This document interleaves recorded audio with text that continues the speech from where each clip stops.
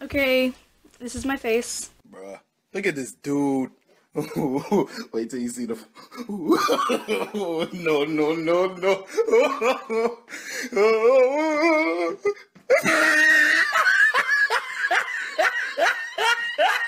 ah, look at the top of his head. I am usually on the right when we record. I am just moving stuff in my room now. This has become cleaning my room. Okay, but, ow. I'm recording on my floor and it's really painful. Okay, but yeah, this is me. This is my face. I'm usually on the right drawing, the ones that always look terrible.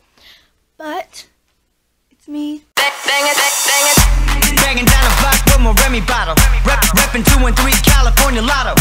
Serving all the fiends like King Taco, my cheese, nachos, flossing till you unfollow. Windows down just to ask. Okay, so today we're going to be doing a comparison video. We've never done one on this channel. because she is not here to join me. My name is Connor, just letting you know that. Yeah, we're doing a comparison. My friends will not be here to join me. So, first off, we have Faber-Castell. Everyone knows this brand, hopefully. It's one of the leading brands besides Prismacolor and Crayola, because, like, who can beat Crayola? Here they are. White, I swear to God. There. These are, one of their main claims is unbreakable lead. We're not to find that out. No. We all know who has breakable lead. Looking at you, Crazart. And we all know who makes fake claims. Looking at you, Crazart. Next up, we have the main attraction, Prismacolor. Everyone knows this brand. It's like the Crayola of the art world. But yeah, this brand's really great. It's a good brand to start off with. It's pretty cheap for like a 72 pack. It was only like 40 bucks. So let's start the video. My mother says my body proportions are off, but I say I'm beautiful. We're gonna move the sketchbook to the side while we figure out colors. Okay, so we need to find a white my Prismacolor because I have 72. Okay, so white.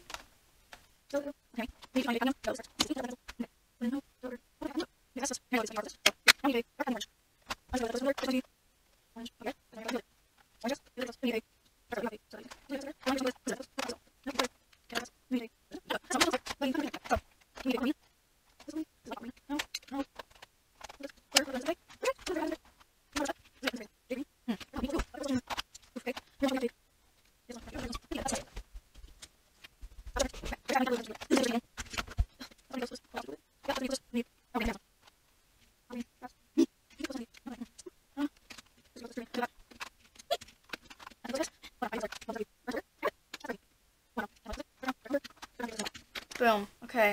Here.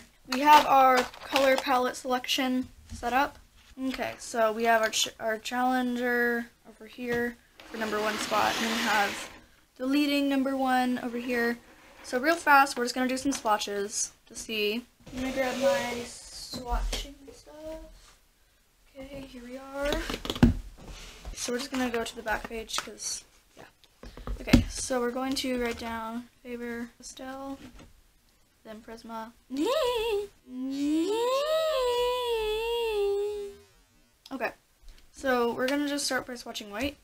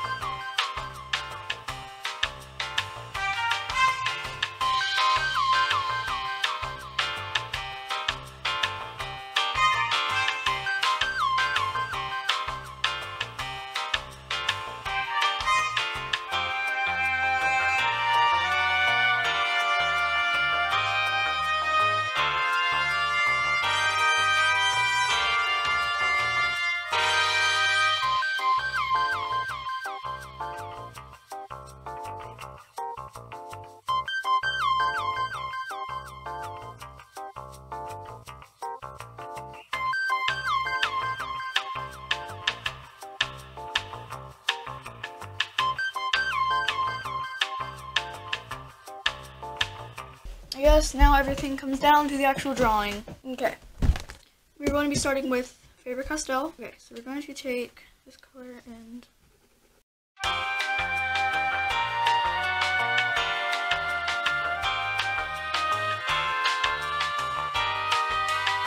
The saturation of these is actually really nice.